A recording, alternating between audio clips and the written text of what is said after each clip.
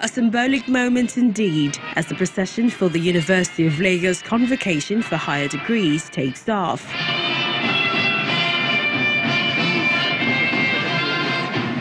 Finland's ambassador to Nigeria presents an appraisal of UNILAG's contribution to manpower development in the country and commends the new leadership of the institution for hitting the ground running.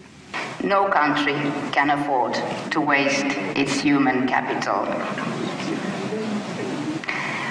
I was pleased and honored recently to receive the Vice Chancellor at the Embassy of Finland in Abuja and I was even more pleased that we had the opportunity to receive him in Finland. Clearly, he has hit the ground running.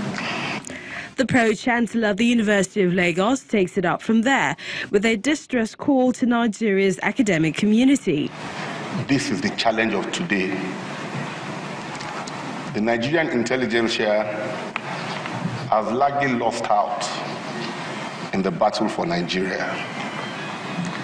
Today I'm making a clarion call to you all that is not sufficient to earn a living. It's not sufficient to be wealthy. It's more important to participate in the development of your country. A key point of the occasion was some retired and serving professors conferred with Professor Emeritus.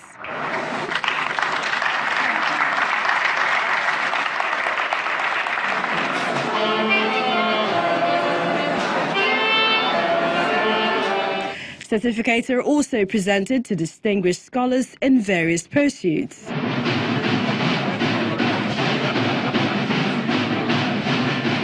University of Lagos has made significant progress on many fronts, ranging from top personnel recruitment to infrastructural development, from research and innovation breakthroughs to laurel and recognitions earned by our staff and students. Great of the greatest of the greatest Akokites. With the yawning gap between the nation's economy and technology sectors, the new scholars being churned out no doubt have their work cut out for them the skills acquired would go a long way towards meeting Nigeria's manpower demands.